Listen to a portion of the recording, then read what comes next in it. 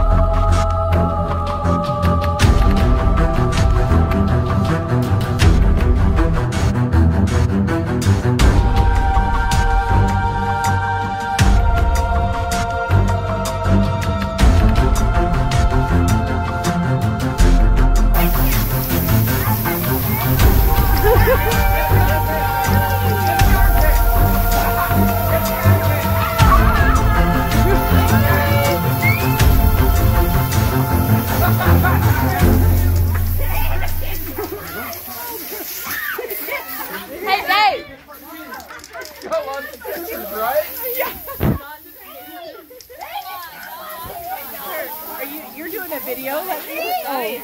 How very interesting. Have some gas.